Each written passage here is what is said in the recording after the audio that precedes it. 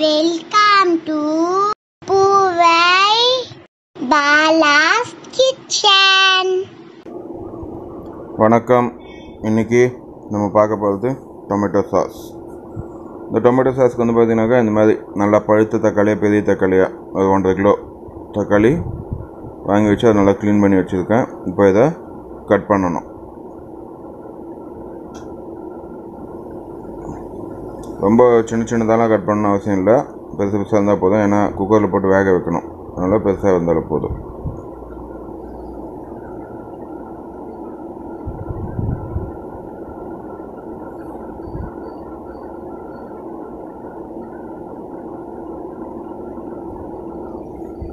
இப்போது எல்லாத்தையும் கட் பண்ணியாச்சு குக்கரில் போட்டாச்சு. இப்போ இதில் வந்து பார்த்தீங்கன்னாக்கா ஒரு கிளாஸ் தண்ணி அதை ஊற்றி இதை வேக வைக்கணும்.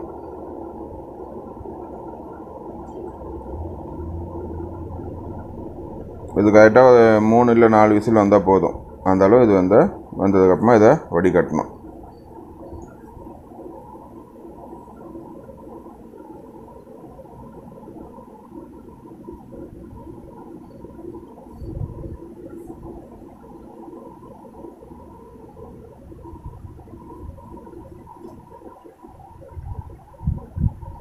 இப்போது நல்லா வெந்துடுச்சு. விசில் வந்து இறக்காச்சு தக்காளியும் நல்லா வெந்திருக்கு. இப்போ இதை சூடாக இருந்ததுக்கப்புறமா இது நல்லா வடிகட்டணும்.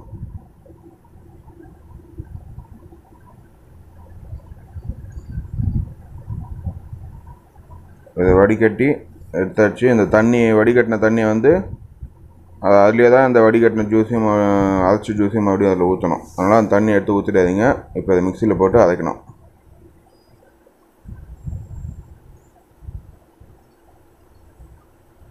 அரைச்சாச்சு. இப்போ அந்த வடிகட்டின தண்ணியிலே இந்த தக்காளி ஜூஸை அதில் வடிகட்டணும்.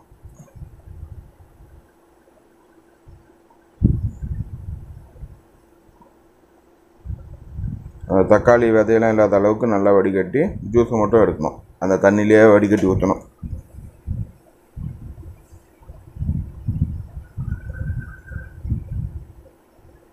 நல்லா வடிகட்டியாச்சு. தக்காளி விதையெல்லாம் தனியாக வந்துடுச்சு.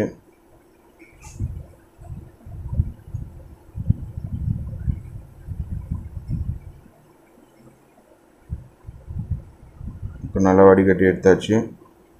இப்போ இதில் வந்து பார்த்தீங்கன்னாக்கா ஒரு அரை ஸ்பூன் உப்பு அதாவது சின்ன ஸ்பூனில் தான் பெரிய ஸ்பூன் கிடையாது.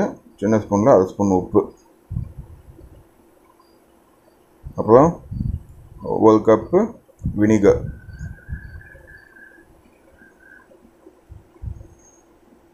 இதே கப்பாலேயே ஒன்றரை கப்பு சுகர்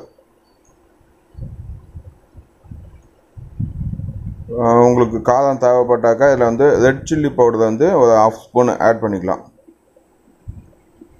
காரம் தேவைப்பட்டாக்கா. எனக்கு காரம் தேவையில்ல அதனால் ரெட் சில்லி பவுடர் நான் ஆட் பண்ணல. உங்களுக்கு எதுக்கா காரம் தேவைப்பட்டுச்சுனாக்கா ஒரு சின்ன ஸ்பூனில் half spoon red chilli powder add add பண்ணிக்கோங்க. இப்போ இது நல்லா கொதிக்க வைக்கணும்.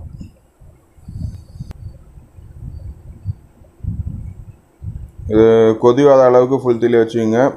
கொதி வந்ததுக்கப்புறமா சிம் பண்ணிடணும். சிம் பண்ணிவிட்டு நல்லா கலந்து விட்டுனே இருக்கணும்.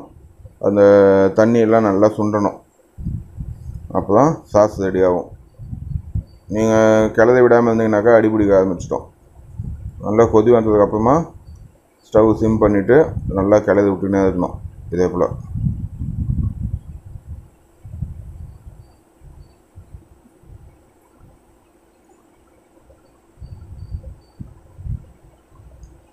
இப்போது அது நல்லா கெட்டி ஆகிடுச்சு இப்போ நல்லா சுண்டி வந்துடுச்சு.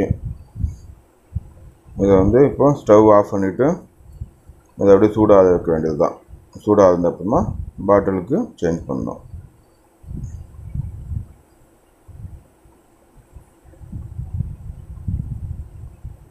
இப்போது நல்லா சூடாகிடுச்சு. இந்த சாஸு இதுக்கு வந்துடுச்சு டொமேட்டோ சாஸ். இப்போ இதை பாட்டிலுக்கு ட்ரான்ஸ்ஃபர் பண்ண வேண்டியது தான்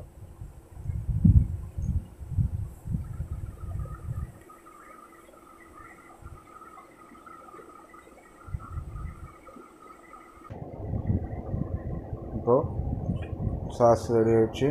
இதில் வந்து பார்த்திங்கனாக்கா எந்த கெமிக்கல் எந்த கெமிக்கல்ஸும் கிடையாது. கடையில் வாங்குற சாஸில் இல்லாத கெமிக்கல்ஸ்லாம் இருக்கும். இது வீட்டில் செஞ்சால் எந்த கெமிக்கல்ஸும் கிடையாது. Only tomato sugar and vinegar அவ்வளோதான் ஹோம்மேட் டொமேட்டோ சாஸ் இந்த வீடியோ உங்களுக்கு பிடிச்சிருந்தா லைக் பண்ணுங்க கமெண்ட் பண்ணுங்க ஷேர் பண்ணுங்க. எங்க சேனலை சப்ஸ்கிரைப் பண்ணுங்க. மறக்காம பெல் ஐகான் பிரஸ் பண்ணுங்க. Thank you